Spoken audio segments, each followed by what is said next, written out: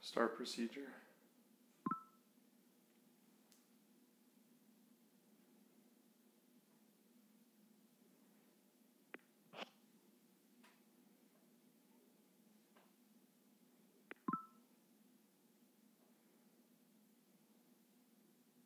Remove the protective film from the face shield and the forehead band.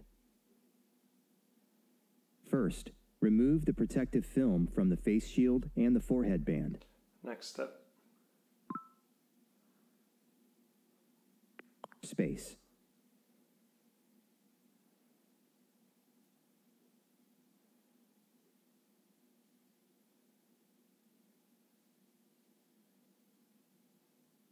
The face shield can attach to the forehead band in two positions, regular fit or extra space.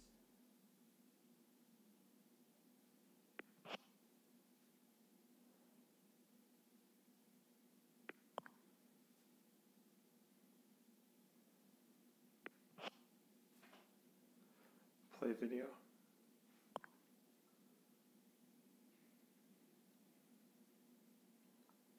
Next step. Play video.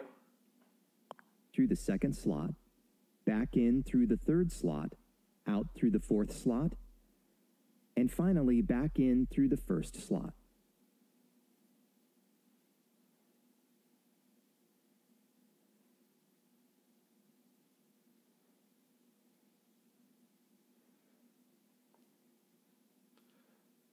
Page down. Next step. Play video. To attach the silicone strap to the other side of the forehead band and face shield, out through the second slot, in the third, out the fourth, and in the first.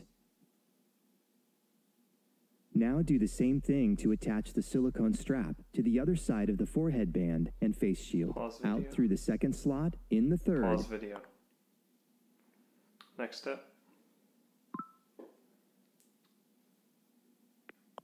Pull on the end of the strap to tighten the fit, or pull on the opposite side of the strap to loosen the fit. When you're done, thread the strap through the first slot again.